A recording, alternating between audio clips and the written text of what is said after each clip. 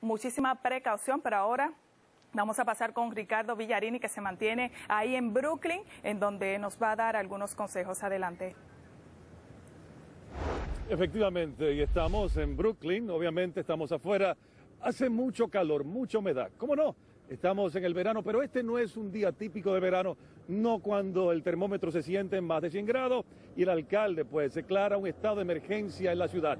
Aún así, muchos se aventuraron a desafiar, como pueden apreciar, estas altas temperaturas.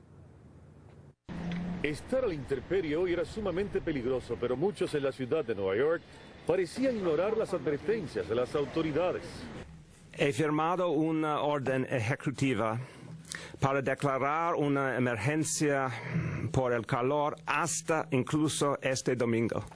Y mientras más tiempo pasen las personas sometidas a las altas temperaturas, mayor es el riesgo y lo sabe este ciclista que decidió de manera prudente tomar un descanso. Cogí un par de millas, entonces voy, a caminar un par de millas más y, y montarme de nuevo.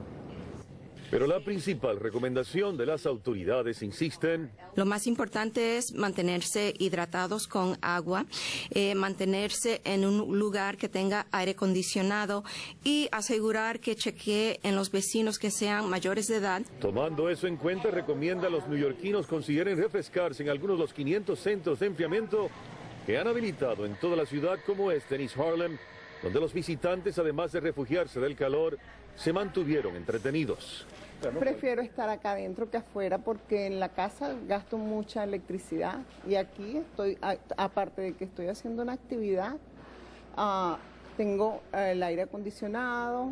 Esa hubiera sido una buena opción para una persona mayor como Bella Barca, pero pensando precisamente en su salud, se vio obligada a caminar cinco cuadras bajo el intenso calor para no perderse su cita médica.